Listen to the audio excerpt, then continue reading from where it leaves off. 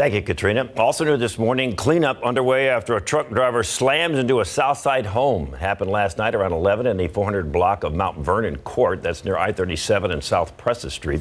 San Antonio police say at least 10 people were in the house at the time of the crash, but no one was in the room that the truck smashed into. We're told the truck driver is a man in his 20s. He was taken to the hospital. No word on his condition. Investigators still trying to determine if alcohol was a factor in the crash.